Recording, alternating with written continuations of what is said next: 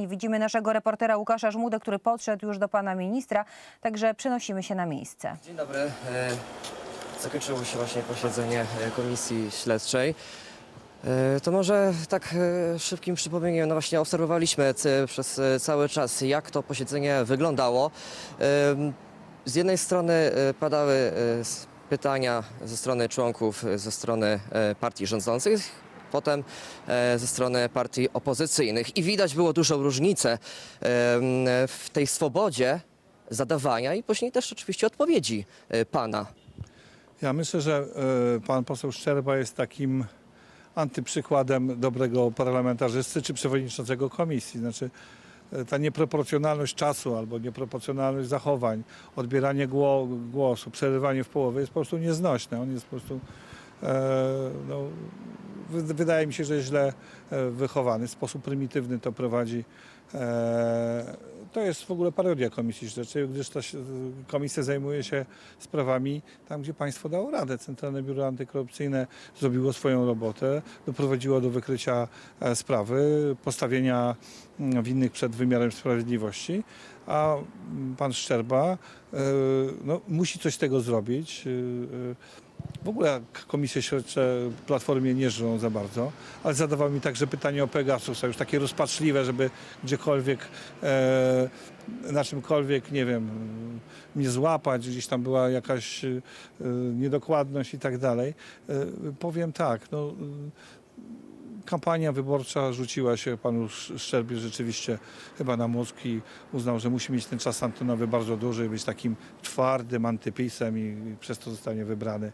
Mam nadzieję, że Polacy są mądrzejsi niż on myśli i że mm, podziękują mu za to w odpowiedni sposób. Ministrze, panie pośle, jeszcze może wróćmy się do początku tego posiedzenia. Jesteśmy w tym momencie e, na antenie, nasi widzowie oglądają nas e, i pan przedstawił, prze- pokazał e, przewodniczącemu pismo świadczące o tym, pismo Sądu Najwyższego uchylające postanowienie marszałka Sejmu dotyczące wygaśnięcia pana mandatu. Tam słyszeliśmy, że e, członkowie komisji oczywiście mówi- mówili, zwracali się do pana, e, panie świadku, nawet pan ma tutaj przy sobie to pismo. No właśnie, jak zostało to przyjęte przez przewodniczącego? No bez komentarza, e, chyba nie przyjmą do, do wiadomości, ale ja przypomnę, że nierespektowanie wyroków sądu to przestępstwo w Polsce. To jest artykuł 244 kodeksu karnego i myślę, że kiedyś zostanie ta sprawa wy, wyegzekwowana właśnie w ten sposób dotyczą, doty, wobec marszałka Chłowni, ale także innych osób, które podważają nasz statut. Wspomniał Pan też o tej jednej sprawie, bo pośród wielu pytań, które rzeczywiście nie dotyczyły e, spraw, którymi Pan się zajmował, była także, e, przy, przypomniał Pan tą kwestię z Panią Senator z Platformy Obywatelskiej, rzeczywiście, e, w sprawie te, tej filii Uniwersytetu Medycznego e, w Kijowie. Rzeczywiście w tej sprawie. Po- Powstała e, filia w Katowicach i chciała ona ściągać studentów zagranicznych. E, Jaka rola była w tym właśnie senator PO?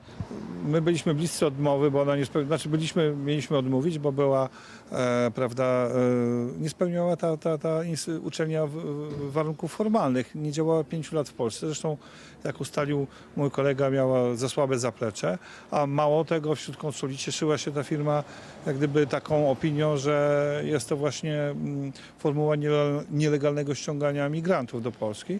I właśnie w tej sprawie dzwoniła do ministerstwa, do kilku dyrektorów, ale także mm, chciała rozmawiać z ministrem Grodeckim. Ja to wziąłem ten obowiązek na siebie i rozmawiałem z panią senator Biedą, ale właśnie w kilku żołnierskich sprawach wytłumaczyłem jej, że nie powinna tego robić, bo sprawa jest, może być nieczysta i że może dojść do, że lobuje za złą sprawą i żeby gdyby więcej tego nie robiła. I rzeczywiście więcej tego nie robiła. Mam nadzieję, mam, mam takie wrażenie, że uchroniłem ją przed sporymi nieprzyjemnościami.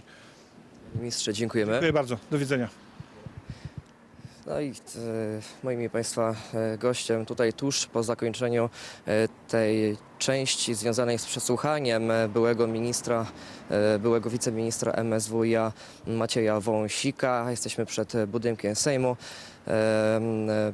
Gdzie właśnie trwa dalej komisja. Teraz rozpoczęło się przesłuchanie byłej minister pani Jadwigi Emilewicz, a ja oddaję głos do studia.